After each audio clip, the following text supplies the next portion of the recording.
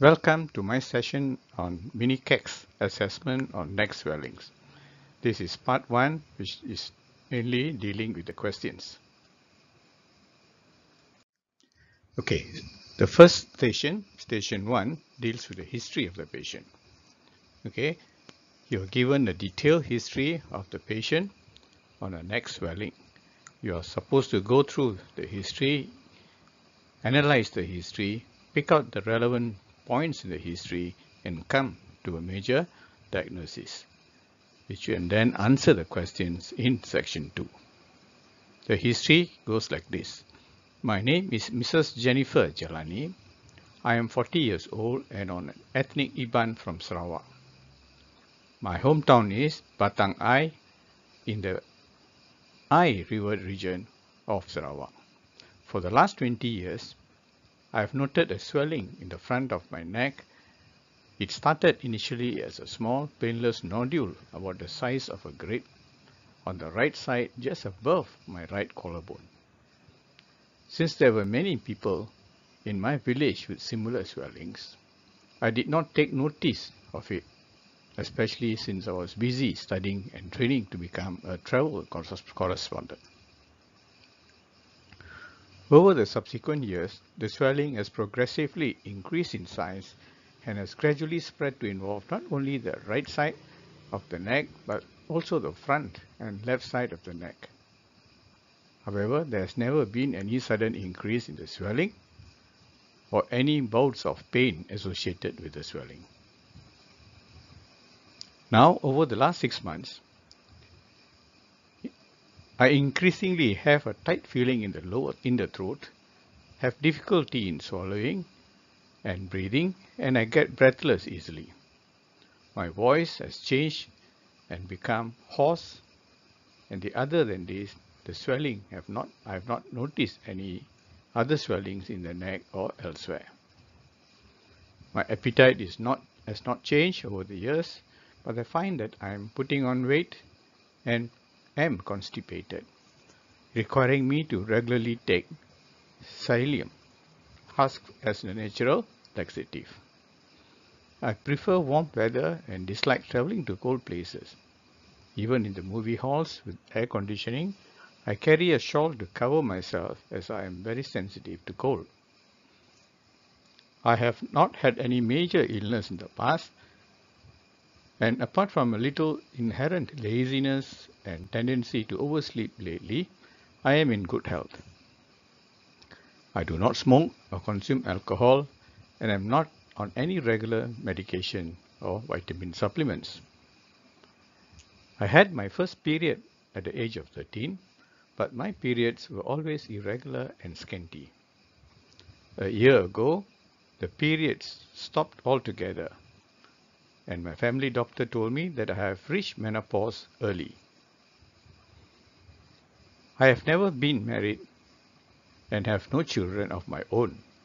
I have adopted an orphan girl from my village and my adopted daughter is 12 years old. My brother, who is elder to me by two years, has a similar swelling in the neck but is otherwise healthy. Currently, I stay in Sibu in Sarawak with my parents, who are both alive and well. Now that I look back, I think they too had similar but smaller swellings in the neck. Okay, after reading through the history carefully, we go to station number 2 and answer the following questions based on history. Please answer the questions in brief based on the history elicited from the patient the time allowed for this station is 7 minutes and the marks total marks is 5. Question number 1. What information is derived from the fact that there is a high incidence of goiter in the patient's hometown? 1 mark. Question number 2. In case ultrasonography guided FNAC reveals a neoplasm, what is the type of neoplasm it is likely to be. One mark. Question number three. What is the likelihood of a daughter developing a goiter and why? Question number 4. Based on the history, what is the thyroid status of the patient? And question number 5. What other estimation regarding the patient can you make from the history?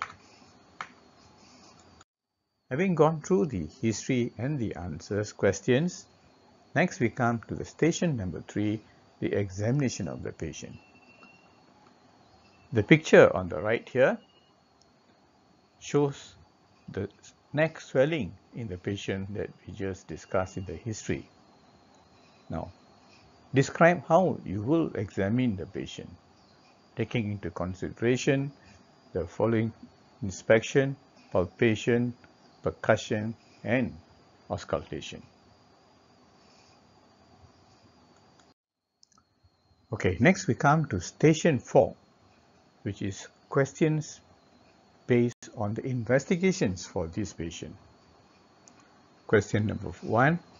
The patient's blood was sent for the estimation of TSH, total T3 and total T4 and the report ah, are as given here. Study these reports and answer the questions that follow. Question number one, what conclusions can you draw from the report and why? Question number two, the clinical examination of the patient reveals a lobulated mass of varying consistency with some areas of firm and soft cystic areas.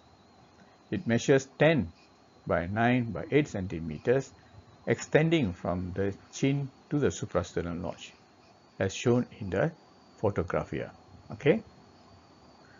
You asked for an you have asked for an ultrasound of the neck but the patient got a CT scan done.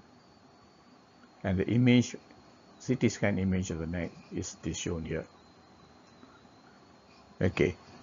Based on this information what should be the next investigation for the patient Question number three. What is the role of radioactive iodine, RAI, in the management of thyroid disorders? Okay, the final station, station number five, uh, deals with the viva questions on management of this patient. The examiners are free to ask any management related question which the houseman should is expected to know. Okay, the total time for this station 5 is 7 minutes and the total marks is 10. Question number 1. What do you understand by the operations termed hemithyroidectomy and total thyroidectomy?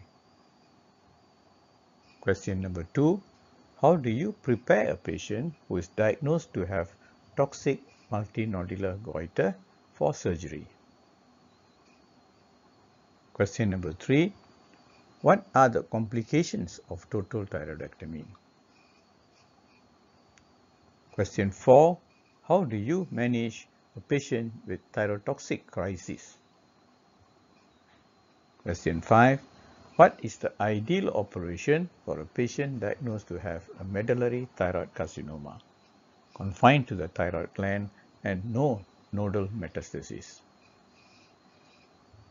Question number six, what are the indications for surgery in a patient with goiter?